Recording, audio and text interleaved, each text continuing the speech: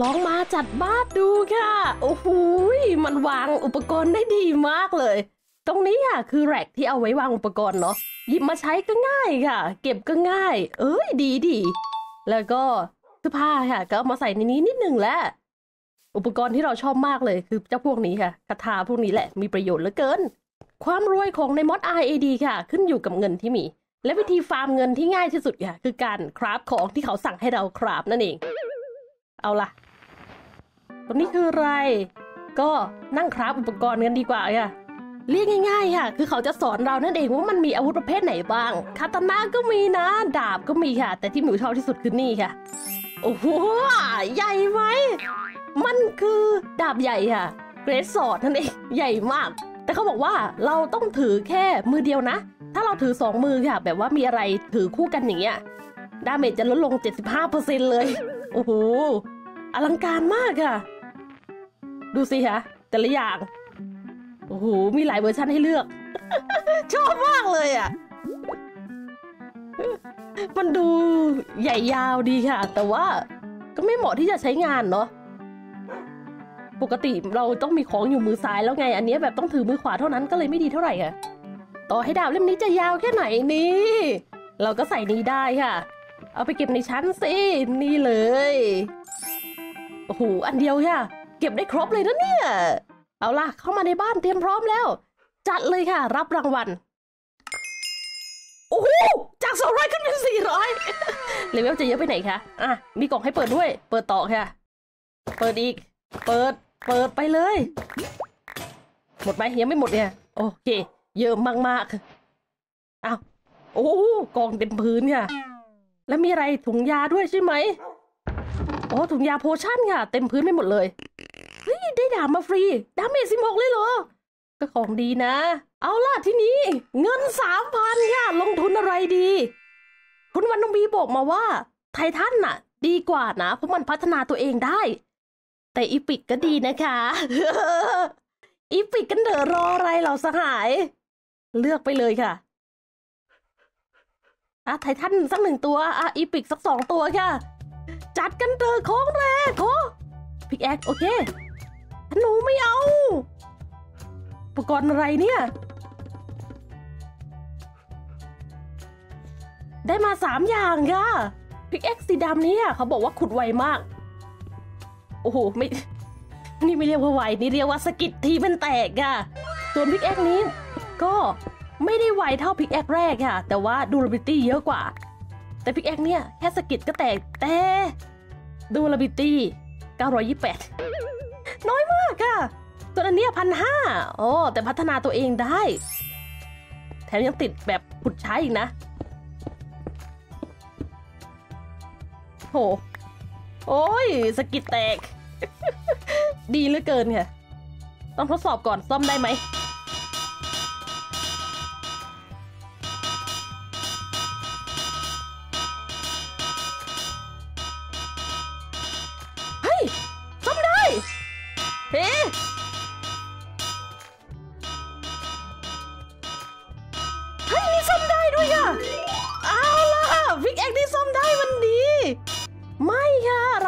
ผิด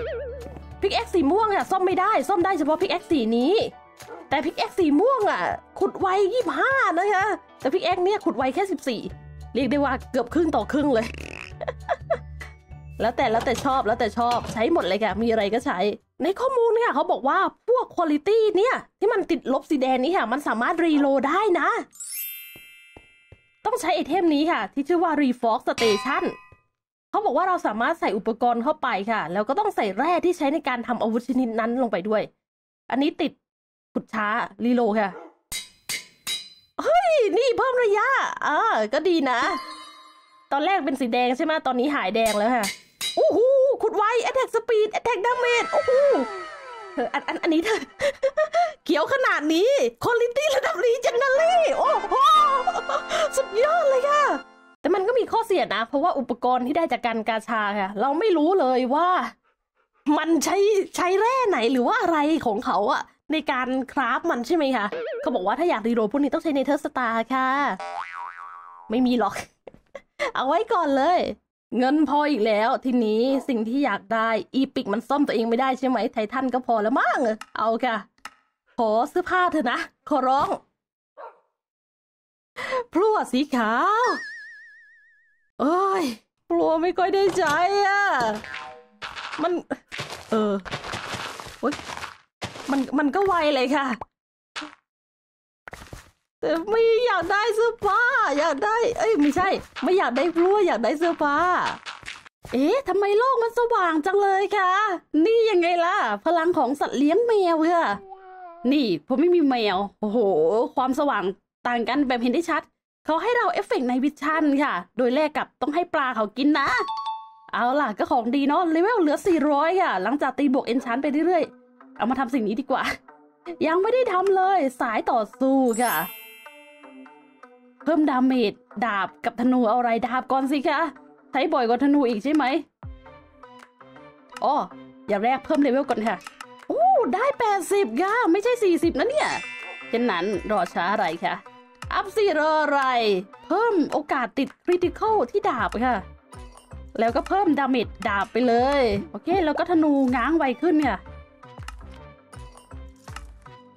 เลเวล400 หายอย่างรวดเร็ว ดาบ damage เพิ่มขึ้นในนี้ไหม ไม่โชว์ค่ะ ไม่เป็นไร ถือว่าได้มาแล้วแหละกำลังจะใช้งานวาร์ปค่ะ แต่ดันเอาไอเทมหายไปหมดแล้ว เปิดวาร์ปไม่ได้ เพราะมันต้องจ่ายเลเวลสาม เอ๊ะมีอะไรที่เราจะได้ไอเทมไหมเนี่ย ได้ XP ได้ XP ค่ะ ได้ XP เอ่อเตานี้เหรอ ไม่เคยได้ค่ะ ไม่เคยได้ XP จากเตา วิธีที่ง่ายที่สุดน่าจะเป็นดิสเอนชานค่ะของเอนชานที่เราไม่ค่อยได้ใช้อะเอ้ยประสิทธิภาพเก็บ โอ้มีเยอะอะเฮ้ยอ่าได้อีกพีตรงนี้คืออะไรคะ มีเสา มีไฟ มีแมงมุมตัวน้อยแล้วก็มีกล่องค่ะ เอ๊ะ กล่องเป็นกล่องเปล่าด้วยอ้าวแล้ววางกล่องทำไมคะเนี่ยเนเธอร์แรกไม่มีอะไรเลย หรือว่าเราเอาไปแล้วแต่ลืม อุ๊ย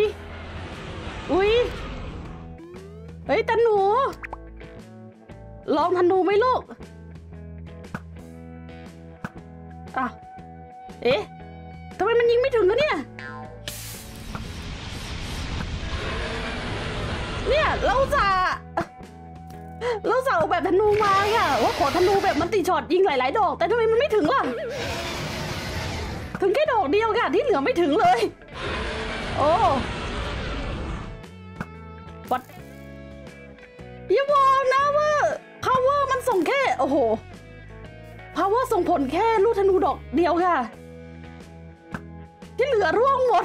มีแค่ดอกเดียวถึงโอ้เลวร้ายอะ อุตส่าห์แบบอยากจะยิงทีละหลายๆดอกแล้วให้ตายไวๆ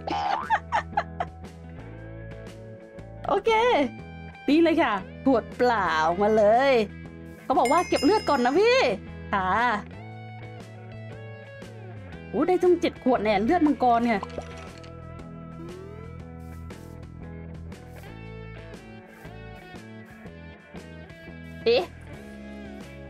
อยู่รอดกันได้ยังไงอะปกติมังกรมันต้องทำลายสัตว์แบบรอบๆข้างตัวไปหมดเลยนะคะ แต่ตัวนี้ไม่ โอ้โห อยู่รอดกันได้ยังไงเนี่ย โอ้ นี่ไงเศษซาก เต็มไปหมดสวัสดีจ้าอ้าว what อ้าวนนนอยู่ข้างบนค่ะ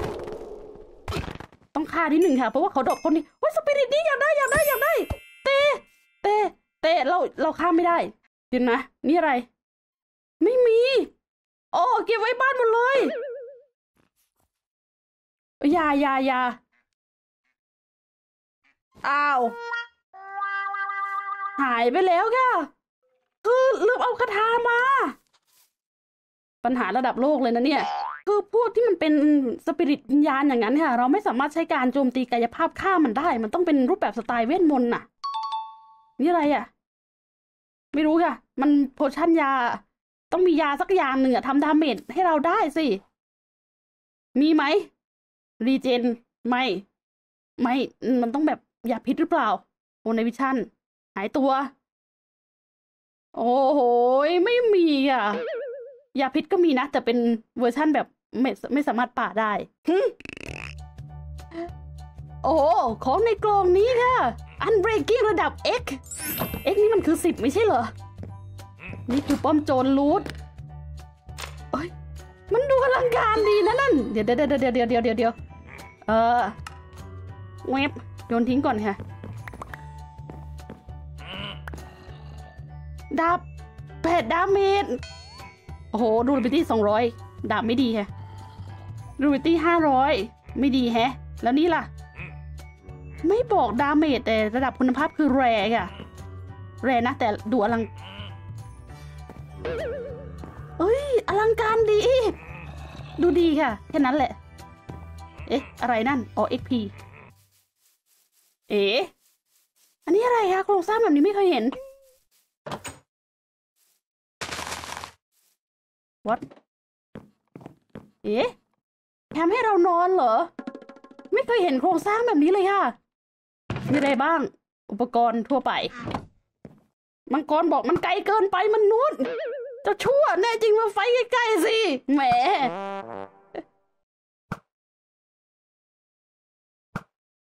อ้าว เรียบร้อยค่ะ มีคุณผู้ชมเคยบอกมาว่า ถ้าเราอยากเลี้ยงมังกรได้ลูกมังกรใช่ไหมเราต้องไปหามังกรใต้ดินค่ะ ถึงจะมีลูกมันให้ แต่มังกรใต้ดินอยู่ที่ไหนล่ะเขาบอกว่าต้องสุ่มหาเอาค่ะ แล้วแต่โชคชะตาจะนำพา อุ๊ย สิ่งนี้ที่อยู่ใต้น้ำเราเคยรู้แล้วว่ามันคืออะไรใช่ไหมคะ โอ้โห เจ็ดมาใต้น้ำเลยนะเนี่ย โอ้โห เดี๋ยวนะคะ เฮ้ย น้ำตัดแบ่งแยกอย่างเห็นได้ชัดค่ะ โอ้โหสุดๆไปเลยอะ มันดูดีมากเลยอะ เขาบอกว่านี่แหละคือพลังเราหยุดได้แม้กระทั่งน้ำค่ะสุดยอดไปเลยอะ ชอบมาก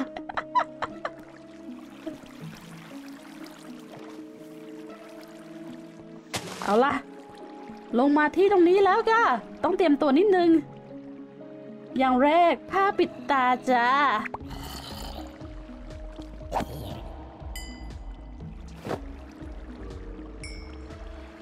ถ้าถอดไนวิชั่นออกโอ้โห เออไนวิชั่นนี่แหละค่ะไหนเอ่ย เดินลงมาเดินลงมาสวัสดีจ้าไหนตัวเองสวัสดีจ้าเรียบร้อยค่ะเอ้ยมีสปิริตด้วยอยากได้อะ ไปเผาได้ไหมเฮ้ยเหมือนจะได้เหมือนจะได้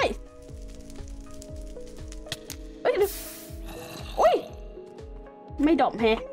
นั่นหรือเราเราเผาไอเทมไปหรือเปล่า โอเคค่ะ เรียบร้อย เมดูซ่ากอก้อนนั่นเอง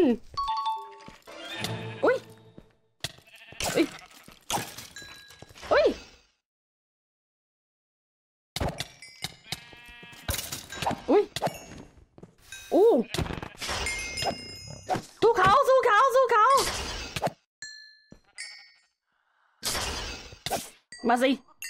มาอีกไหม มาสิจ้าออกมา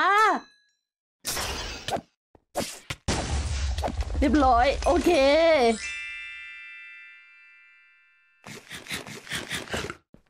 ได้อะไรดีบ้างไหม ไม่ทราบค่ะ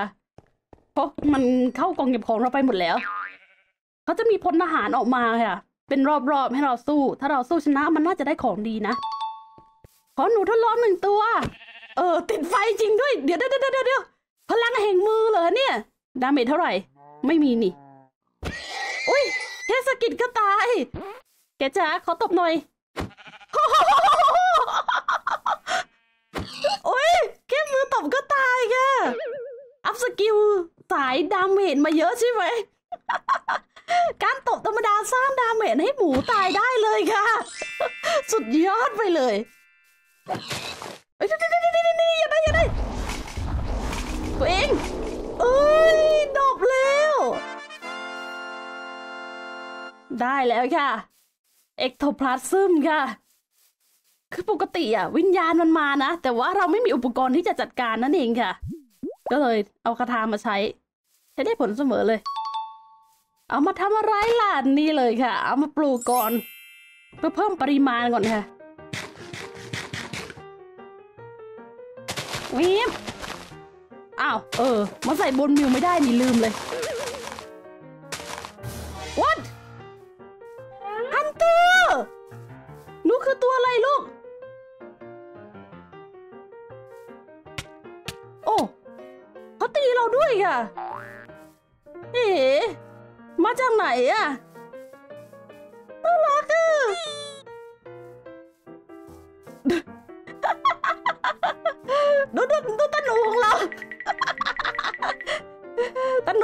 ฮ้ยลงมา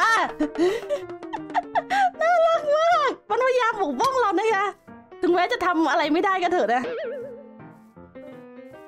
โอ้โห เร็ว อือมาตนูอะให้ธนูแทนอะ นั่นแหละเก่งมาก เฮ้ย เออ เก่งมาก โอ้ยตุ๊กตาหุ่นเชิดเราค่ะ น่าสงสารน่ะ เห็นพยายามตีแล้วแต่ตีไม่ได้ เออ ให้ธนูถือนี่รู้เรื่องเลยค่ะ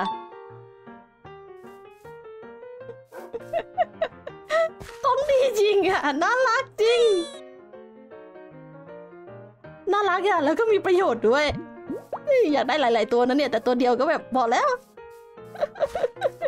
เฮ้ย มีคนปกป้องชีวิตมันคือความรู้สึกดีค่ะ นึกว่าในโลกอันโหดร้ายเนี่ย แล้วมีตัวละครตัวเล็กๆน่ารักน่ารักอะคอยปกป้องเราอยู่อะ มันก็เป็นอะไรที่ฟินนะฮะ เอาล่ะ ปลูกเลยค่ะ เรียบร้อย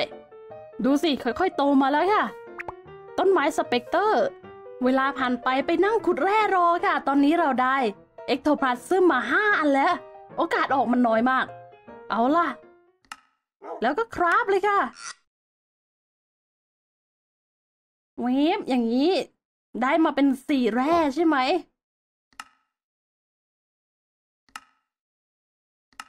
เราสามารถเอามาเปลี่ยนต่อค่ะ ได้เป็นสิ่งนี้นั่นเอง Spectre Key บ้านกระเป๋าโดเรมอนค่ะ